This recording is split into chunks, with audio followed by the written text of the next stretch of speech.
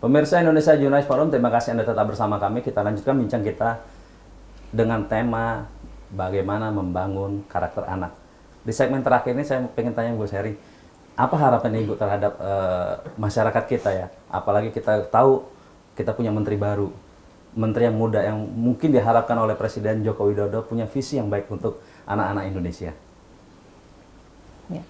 Ya. Uh, justru kita berpengharapan yang sangat besar ya karena ceritanya kan insya, uh, insya Allah uh, menterinya ini dari milenial ya, milenial, milenial ya. Jadi tentunya harapan apa namanya semangatnya lebih tinggi, kemudian juga uh, inovatif Inova. pastinya, pastinya jadinya akan membawa uh, suasana yang baru dan perubahan ya. yang baru di dunia pendidikan, insya Allah.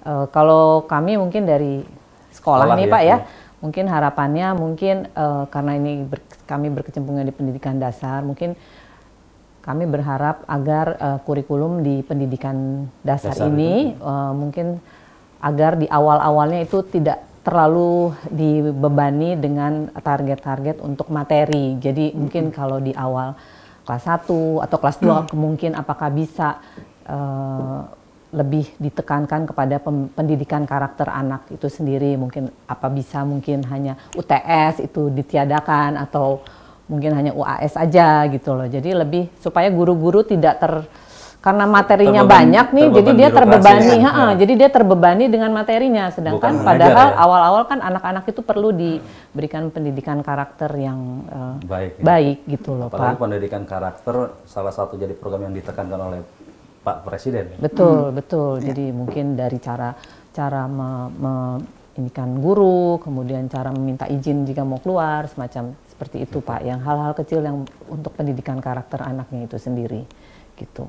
Jadi biar sedikit yang materinya biar sedikit tapi diingat sama anak-anak dibandingkan materi banyak tapi nggak ada satupun yang diingat sama anak-anak. ya. Gak ada yang nempel. Betul. Baik saya ke Ibu Nina. Ibu Nina apa harapan Ibu Nina? Harapan saya ya mungkin senada dengan Ibu Sherry juga bahwa uh, pendidikan karakter itu kan menjadi tujuan utama dalam dalam kurikulum sekarang ya. Hmm. Tapi yang saya harapkan juga jangan itu hanya jadi teori, jangan hanya jadi wacana, jangan jadi hafalan sikap yang baik itu apa kalau kita ketemu orang tua harus gimana? Nggak keluar di ujiannya harus uh, nggak seperti itu gitu loh. Beda yang saya ya, ya yang saya inginkan uh, lebih perbanyak prakteknya. Caranya gimana? Menurut saya dengan itu tadi senada dengan Bu Sherry uh, beban kurikulum beban ujian pada anak-anak itu sebaiknya uh, disederhanakan. Jadi akan banyak waktu untuk anak-anak terutama untuk anak-anak usia uh, pendidikan dasar ya untuk SD, SMP untuk lebih mengembangkan karakternya. Lebih banyak lagi untuk berdiskusi, untuk lebih lebih banyak lagi untuk berempati. Karena sekarang alih-alih untuk berdiskusi, berempati, mereka sibuk dengan ujian, menghafalkan hmm. rumus, menghafalkan soal, menghafalkan sikap dan karakter yang baik.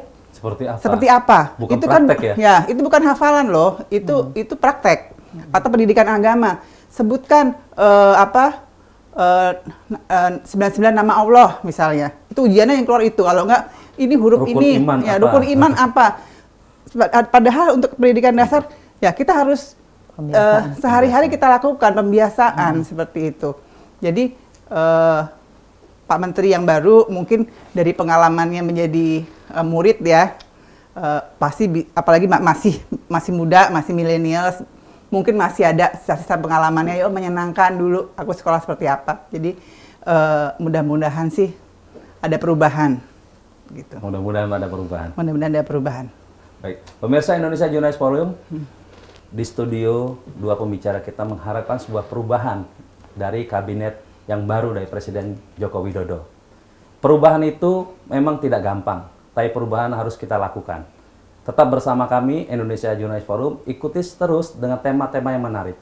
Nasrul minallah wa fatun karib. Assalamualaikum warahmatullahi wabarakatuh. Waalaikumsalam.